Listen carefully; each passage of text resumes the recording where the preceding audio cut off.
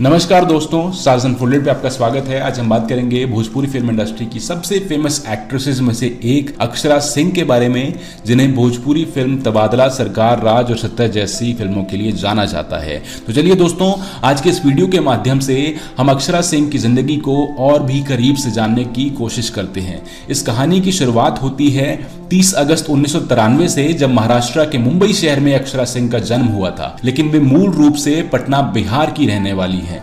Bhojpuri actor Bipin Indrajeet Singh उनके पिता हैं और भोजपुरी एक्ट्रेस नीलिमा सिंह उनकी माता हैं। इसके अलावा उनके एक भाई भी हैं जिनका नाम केशव सिंह है। अक्षरा सिंह ने अपनी शुरुआती पढ़ाई पटना के ही एक स्कूल से की और अपनी स्कूली शिक्षा पूरी करने के बाद उन्होंने 16 साल की उम्र में ही एक थिएटर ग्रुप को ज्वाइन कर लिया, जहाँ पर वो एक्टिंग और डांस का अभ्यास किया करती थी।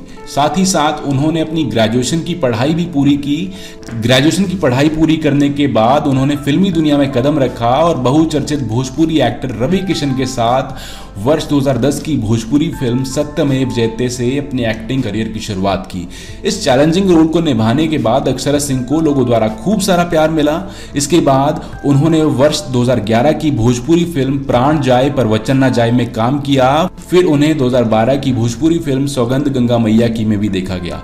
इस फ़िल्म में काम करने के बाद अक्षरा सिंह ने फिर कभी पीछे मुड़कर नहीं देखा और इसके बाद एक के बाद एक भोजपुरी हिट फ़िल्मों में काम किया, जिसमें दिलेर, हम है बांके बिहारी, ए बलमा बिहार वाला, पवन राजा, त्रिदेव, दिलवाला, धड़कन और सत्य जैसी कई भोजपुरी फ़िल्में शामिल हैं। अक्षरा सिंह को भोजपुरी फ़िल्म के अलावा कई टेलीविज़न सीरियल्स में भी देखा गया जिसमें 2015 के टीवी सीरियल काला टीका सूर्य पुत्र करण और सर्विस वाली बहु आदि शामिल हैं।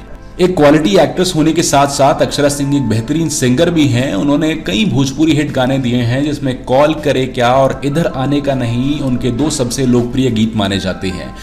वर्ष 2016 में अक्षरा सिंह ने भोजपुरी एल्बम दिल बोले बम बम बम के कई गानों में अपनी आवाज़ दी, जिसके लिए उन्हें कई सारे अवार्ड से भी सम्मानित किया गया, जिसमें बेस्ट पॉपुलर सिंगर अवार्ड और बेस्ट फीमेल सिंगर अवार्ड शामिल हैं।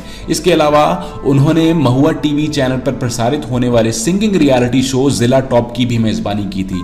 दोस्तों, आपको बता दें कि भोजपुरी सिनेमा के सुपरस्टार पवन सिंह के साथ भोजपुरी फ़िल्मों में उनकी जोड़ी बहुत लोकप्रिय रही।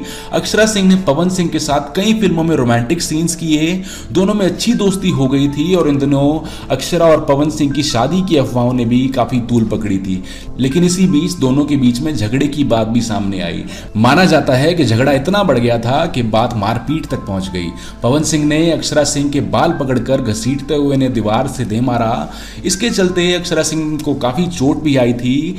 इसके बावजूद अक्षरा ने पवन सिंह के खिलाफ कोई एफआईआर दर्ज नहीं करवाई, लेकिन फिर दोबारा कभी वो पवन सिंह के साथ दिखाई नहीं दी। तो दोस्तों, आज के लिए बस इतना ही। आपको हमारा वीडियो कैसा लगा, हमें कमेंट सेक्शन में ज़रूर बताइएगा। अक्षरा सिंह से जुड़ी कोई अन्य जानकारी हो तो हमसे ज़रूर शेयर कीजिएगा। आपसे मुलाकात होगी फिर किसी अन्य पर्सनैलिटी की बायोग्राफी के साथ, उनकी ज़िंदगी से जुड़े रोचक किस्सों के साथ। तब तक के लिए हमारा साथ देते रहिए। शुक्रिया टेक केयर